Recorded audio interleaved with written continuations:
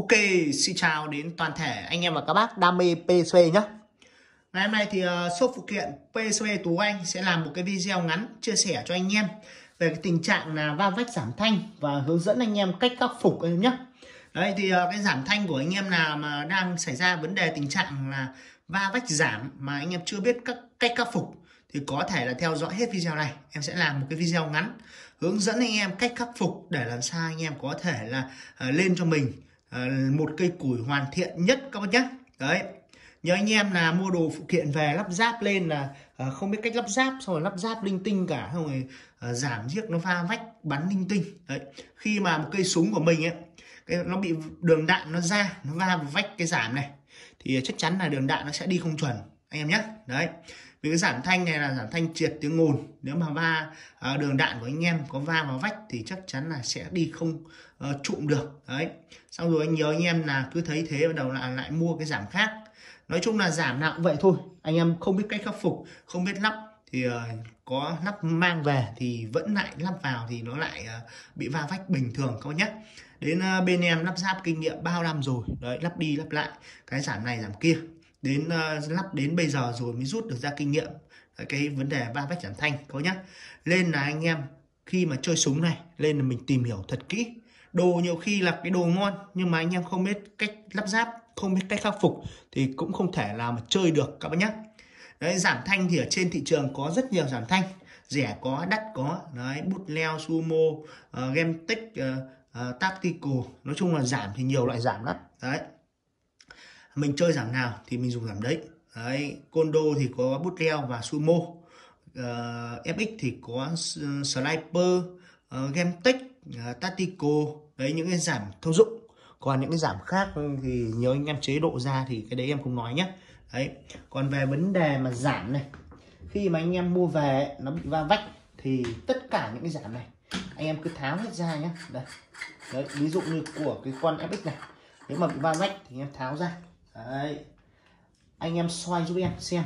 Đây, ví dụ như mình cho lên xoay xoay như này. Đấy. Hoặc là mình có thể nhìn trực tiếp vào giữa lòng và giảm nhé đấy, lắp trực tiếp vào mình xoay từ đầu lòng và ra giảm. Xem nó bị va vách ở giảm nào, vách nào. Đấy, hoặc là mình có thể đổ ra. Đây. Đây chặt quá, để em lấy kìm. Nếu bạn được. Đấy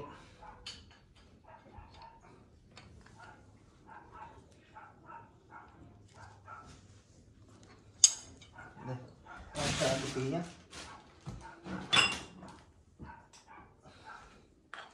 Đây, đi kìm đến vặn được chứ. Đây rồi. Đây. anh em à, cứ xoáy ra. Đấy. Bên trong thì nó sẽ là vách nhôm như này. Đấy, anh em xem nó bị va vách ở giảm nào. Đấy, cái lỗ của nó này, nó làm lỗ rất chi nhỏ như này. Khi mà nó bị em va ở giảm vách, ở vách giảm nào nhé thì anh em có thể là mài. Mài cho cái lỗ này nó to ra. Đấy. Ví dụ như bọn em lắp thì bọn em sẽ mài. Đấy. Mài cho rũa cho cái lỗ này nó to ra. Đấy để cái đường đạn nó ra nó sẽ không bị va vào cái vách này nữa. Đấy. Cái vách này thì nó thật với anh em là nó không ảnh hưởng gì đến tiếng ồn cả nhá. Đấy, anh em có làm to ra thì nó không ảnh hưởng gì. Nên là yên tâm các bác nhá. Đấy nắp sau này em lại nhét vào này. Đấy. Rồi lại đậy vào rồi lắp lên giảm nào cũng vậy nhé, cái giảm nào cũng làm được hết em nhé. Đấy, giảm nào nó có vách rời như này cũng làm được hết các bác nhé. Còn những cái vách liền khối thì anh em cũng vẫn có thể rũa được bình thường. Đấy lắp xong, đây, giảm con đô. Đây, con đô này thì anh em cũng ờ, tháo ra. Đấy, tháo ra rồi lại xoáy ra, rồi cũng đổ hết vách ra đấy xem nó bị va ở vách nào xong rồi mình cũng rũa đi. Nhiều khi là nó có ba via vách ấy, nó có ba via thì đường đạn nó ra nó cũng va vào. Cái bắt đầu là uh, đường đạn nó ăn không chuẩn đâu. Cái tình trạng mà đạn đi thứ nhất là anh em có lòng ngon này đấy có giảm ngon lòng ngon van ngon rồi. Mà đường đạn nó ra đi ăn viên nọ viên kia. Đấy thì anh em có thể kiểm tra trực tiếp. Nó sẽ ảnh hưởng đến uh, là khi mà đường đạn ra nó đang bị va vách các nhá. Bởi vì nhà xuất nó làm khi mà cái đường đạn ra rất chi nhỏ này này. Đấy có nhiều cái giảm uh, như cái giảm game tích này. Đây giảm FX game tích này nhá. Nó nhỏ chỉ bằng cái viên đạn thôi. Em phải so này. Đây cái giảm của thằng sumo này nó cực kỳ nó sẽ to hơn cái dòng giảm game tích này nhá. Đấy thấy chưa? Đấy, anh em có thể là rũa qua hoặc là khoan qua cái lỗ đấy nó sẽ to lên là cái đường đạn của mình sẽ không bị va vách nữa. Đấy là mình có thể là chơi được bình thường rồi không nhá. Đấy điều kiện của súng ống thì nói chung là súng ống này thì nó lắp ráp lên là nhiều nhiều vấn đề lắm. Đấy lấy phụ kiện về lắp ráp bên shop lấy phụ kiện về lắp ráp thì cũng phải khắc phục cho anh em chơi đấy, không phải là lắp lên hoàn thiện, lên một cây củi, lắp lên phát là xong ngon lành cành đào luôn không nhá.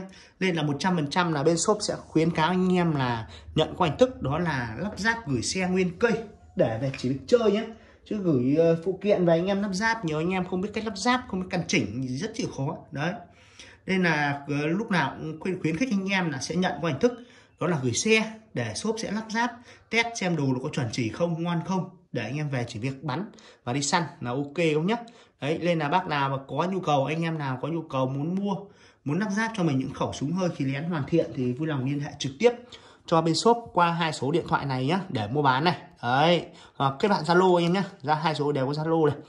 Thì, uh, video ngắn này hôm nay chia sẻ cho anh em cái kinh nghiệm mà để va vách giảm thanh thì ờ, sẽ kết thúc đây. Video sau sẽ làm cái hướng dẫn anh em cách sửa van và khắc phục van nhé. Đây, có một ít van lỗi à.